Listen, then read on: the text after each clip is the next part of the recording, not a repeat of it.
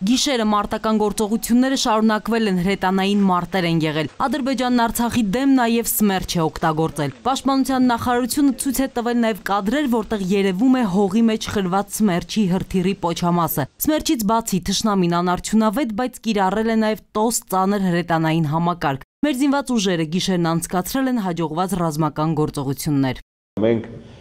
որոշ դիրքեր հետ ենք վերցրել, ամբողջական ինֆորմացիան չեմ կարող այս պահին ասել։ Ադրբեջանական լուրերը, թե ունենք հարյուրավոր զոհեր, իրականությանը չի համապատասխանում վերջին տվյալներով։ Մենք ունենք 31 զոհ, 200 վիրավոր։ Նրանց մի մասը տեղափոխվել է Երևանի տարբեր բուժկենտրոններ։ Պաշտպանության բանակը դուք տեսաք, որ տարածել էր համապատասխան տեսանյութ, որտեղ երևում էին ադրբեջանական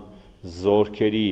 ուրեմն զինծառայողների դիակները, բազում դիակներ, պաշտոնապես հայտարարվել է, որ մի քանի տասնյակ դիակներ կան մեր կողմում թողնված Տեղեկությունները թե պետք են բնակարաններ ու հյուրանոցներ Արծրուն Հովանեսյանը հերքեց, ապա տեղեկատվություն է ոչ մի խաղաղ բնակիչ չի տարհանվել, բայց խաղաղ բնակիչներին թշնամին շարունակում է թիրախավորել, այս պահին թիրախը Մարտակերտն է։ Ադրբեջանական հրետանին խփում է Մարտակերտ քաղաքին։ Դեպի Արցախ հերախոսազանգերը նույնպես չեն դադարում, որքան էլ դժվար է պաշտպանության նախարարությունը խնդրում է ըմբռնումով մոտենալ խանգարում է կառավարման համակարգը իրականացնել, խանգարում է ցանցերին, գերբեռնվածության տակ ենք, նույն ինչու՞ չէ նաև